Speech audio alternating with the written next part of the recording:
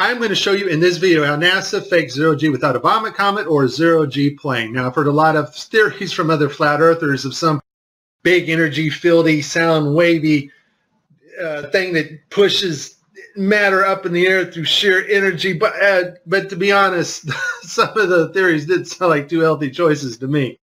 No, I've been praying about it, and the Lord finally revealed to me uh, one video, and I work with Blender and Unity, and I've been working with special effects software Photoshop for quite a while now. And when I saw this video, I realized it became instantly clear how they do it. And it's just video game technology. Now, if you're part of the geek squad or the techie crowd, well, then you've you already know about this technology. And so let's get to the video that caught my attention, and you will see the same things that I saw. Let's watch we have to introduce the concept of free fall. So let's use this model of the Earth. And let's enlist the help of a friend, Patsy. You might know her.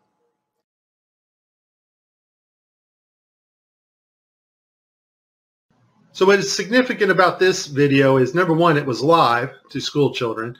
Number two, we have this stuffed animal that is transitioning in on another video channel and the actor is able to reach up and grab this doll in real 3D space and manipulate this doll with their hands. And so the only way you're going to pull that off is with one technology. And that technology is virtual reality. More importantly, though, something called augmented virtual reality. Now, before 2012, NASA used masking techniques, like much like we do in Photoshop and After Effects, um, but now we're able to simulate water and objects live in real 3D space. So we're able to take models of things that are photorealistic and rotate and move them while we are going live. Um, before, we used to have to render these effects frame by frame by frame, and it took extremely long amounts of time. In this video here uh, I made last year, I'm using Sony Vegas, and I was just playing around with the uh, masking capabilities of Sony Vegas. I don't even know why I saved this video. But here I'm standing in the kitchen and I'm just lifting up this trash can to make it kind of look like it's floating. And I didn't do a lot of work on this. I, it was just something I wanted to see real quick. But that is a masking effect to get another effect.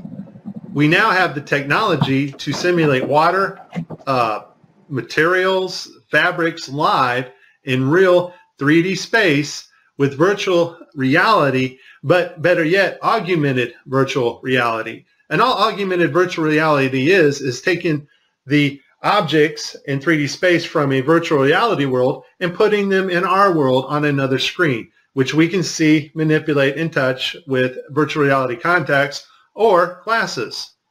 In this next segment, I'm going to show you how NASA grabs objects in 3D space, rotates them around, manipulates them. They can do this with water, with cloth, anything. And the cool thing about it is we can take what they're doing, what they're seeing with their contact virtual reality augmented lenses and put that on a separate video layer live. Yes, live. And do it all in real time. So I'm going to show you what it looks like to them as they're grabbing objects and manipulating them. And then I'm going to show you Microsoft's HoloLens video, uh, their demonstration at E3 a couple years ago, of bringing a virtual reality into our world. And it is simply amazing. Let's watch. Specifically, how HoloLens can turn every room of your house into a personalized video game level. But today, we want to take mixed reality one step further. So we've got something new to show you. Holograms you can hold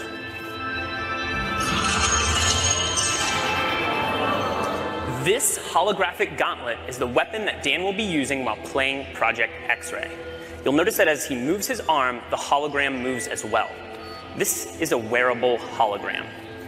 And when you combine technology like this with the environment understanding of HoloLens, you can do some pretty spectacular things.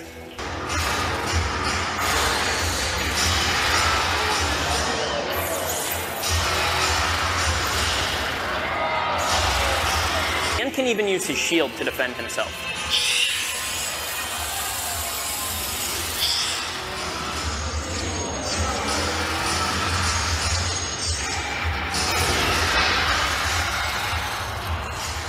Nicely done. Looks like that's all of them. In 2012, NASA got tired of faking weightlessness by using the zero G plane, better known as the Vomit Comet. So in 2012, they started soliciting companies that specialize in real time augmented virtual reality so that they can fake weightlessness and floating objects in the air in real time. Of simply the cost of the plane and the safety concerns and the fact that they weren't very good at it. They didn't go to Hollywood, which most of Hollywood's effects are post processing. That's after the video is made. They needed something they can do in real time and make it look realistic. And so I'll put this link in the description. They found a company called Telemetrics. Thank you, Debbie Durant, for uh, bringing this to my attention.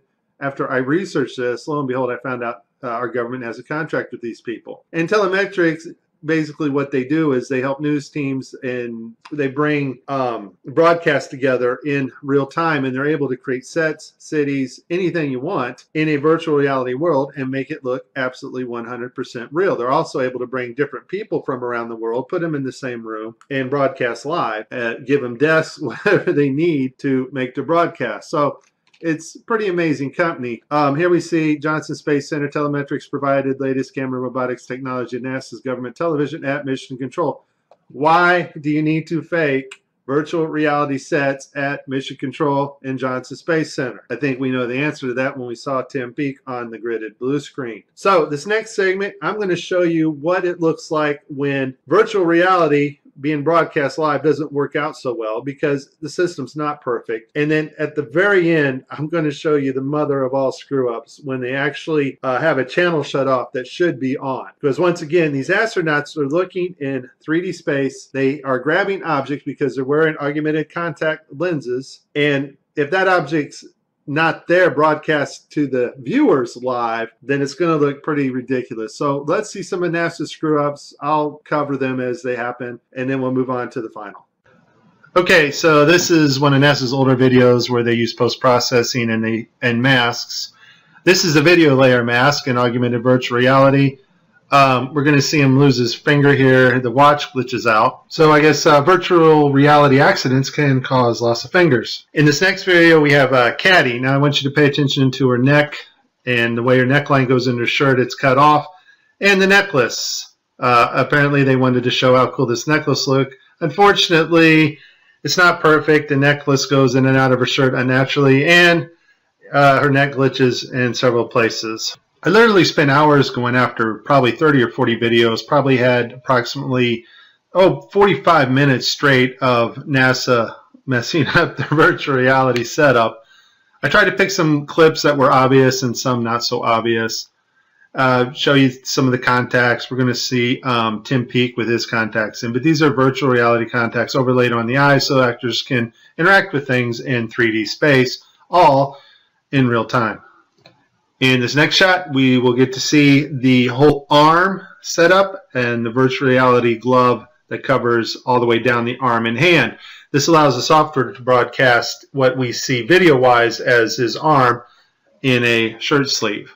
Okay, I have a lot of Tim Peake screw-ups, but this one here, the system glitches. The software does not track his hand properly, and Tim slips his hand underneath his other fingers, which is tightly holding onto the mic, which would be impossible. Um, I don't think this is Tim's fault. Normally, Tim always moves his other fingers up while he slides his hand under. I just think the uh, system didn't respond to his movements here. Uh, this picture here is actually Tim's fault. His hand uh, breaches the 3D mic floating in front of him. In this next clip, we're going to see Tim's arms glitch out as he's manipulating a 3D bubble. Now, this bubble can be done in real time now. We have the technology to do that, which I showed you at the beginning of this. And this bubble is environmentally lit or HDRI lit by its environment, which means the bubble can take up its reflections and refractions as it moves around in 3D space in Tim's augmented uh, reality. Once again, augmented VR just means bringing the 3D objects into our world on a separate monitor. In this last clip, we're going to see NASA royally screw up it's a live broadcast and one of their video channels is off, not working. That's the channel that is supposed to show us, the public, what the astronauts are seeing in virtual reality. Also, the channel shut off is the masking for the guy on the wires in the background. You can't make this stuff up. Just watch. We all know NASA uses wires, and sometimes we'll catch them like this here. The guy pulled on his wire. However, some days when you're filming live, things just don't work out, and it becomes so blatantly obvious, it's ridiculous. So, in this clip, they're talking live feed, and what you know, we have a astronaut go by us in the background, uh, obviously trying to give it a more realistic, spacey, station busy effect. The only problem is the camera that was supposed to mask this harness out, or the uh, video feed, is not working.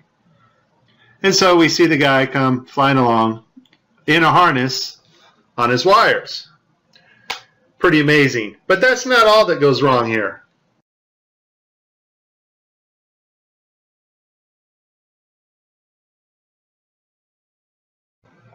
Okay, so you see to the right, this guy's flipping this hat. This hat's actually on another video um, channel in 3D space. It's virtual reality. He's they're wearing augmented uh, contact lenses so that they can interact with these 3D objects. Now, in this scene, the guy on the left in the green shirt, he thinks he sees an object in 3D space that's being broadcast to him.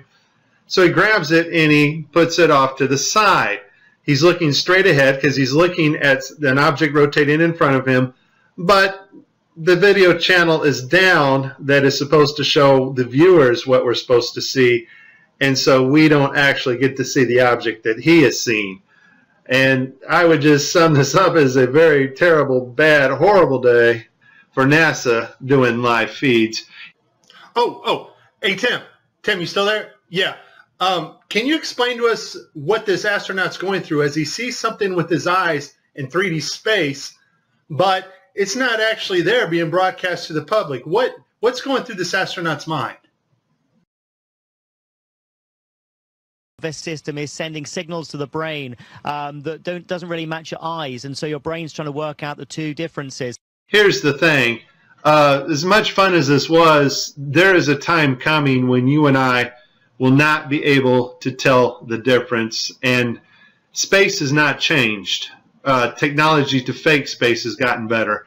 Just because Adobe gets a massive update to Photoshop or After Effects, or there's a massive update at Telemetrics and the virtual reality, augmented virtual reality programming, that does not advance us magically 20 years in space. Space has not changed.